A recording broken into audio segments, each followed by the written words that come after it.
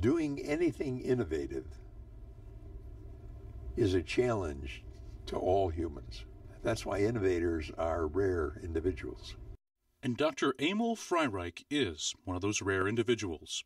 It was his work developing combination chemotherapy in the mid 20th century that led to the first effective treatment of childhood leukemia. But Freireich's groundbreaking work, which involved giving children four drugs at once, was met with plenty of skepticism and even horror. So we went to the cooperative group and we said we want to do that. And they said that's ridiculous. It's way too dangerous. But the study took, and combination chemotherapy has become commonplace as a result. And it's that element of risk versus reward in cancer treatment that serves as a major focal point of Ken Burns Presents Cancer, the Emperor of All Maladies, which airs tomorrow through Wednesday at 8 p.m. here on TV8 includes interviews with Freireich and other doctors at the University of Texas MD Anderson Cancer Center.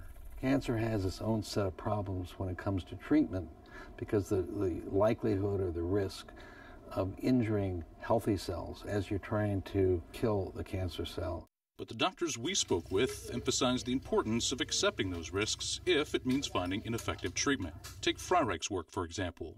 We had to convince the parents that it was worth doing it if it could work.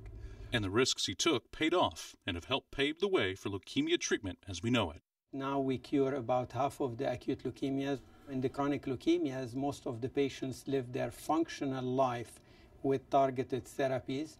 So my projection is that in leukemias, hopefully we will be able to cure most, if not all leukemias, within the next one to two decades. For Houston Public Media News, I'm Michael Hagerty.